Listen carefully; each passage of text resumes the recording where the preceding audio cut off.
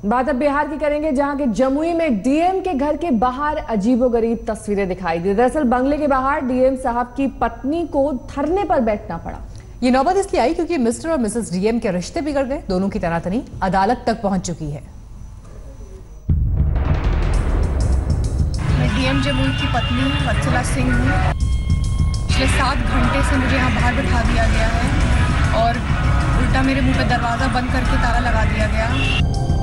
DM के खिलाफ ma'am साहब की बगावत। अंदर मिस्टर डीएम, सड़क पर मिसेस डीएम।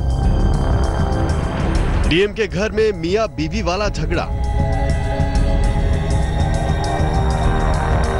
मियाँ बीवी की लड़ाई सड़क पर आई। डीएम के बंगले के बाहर बैठी ये महिला कोई फरियादी नहीं, ये पब्लिक भी नहीं, बल्कि पत्नी साहिबा है। लेकिन बंगले के भीतर इनकी एंट्री पर बैन की तख्ती लगा दी गई है। इसलिए बेगम साहिबा का सड़क पर सत्याग्रह हो रहा है।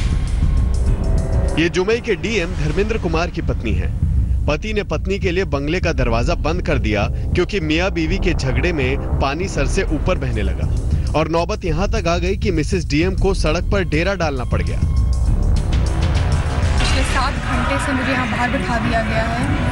और उल्टा मेरे मुँह पे दरवाज़ा बंद करके ताला लगा दिया गया उनके आदेश अनुसार।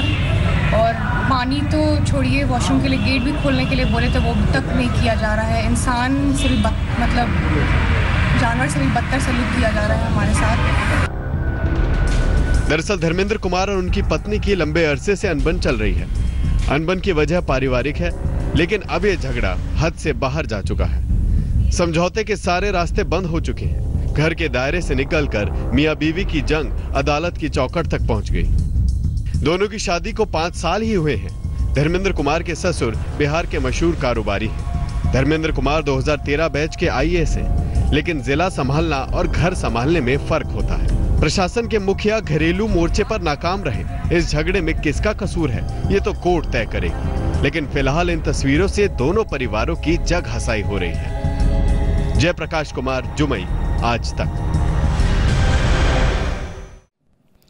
लेटेस्ट खबरों के लिए यू ही देखते रहिए आज तक। और इस वीडियो के पसंद आने पर लाइक शेयर एंड सब्सक्राइब करना ना भूलें।